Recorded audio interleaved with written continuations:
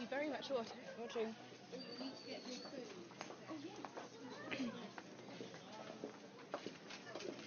Oh,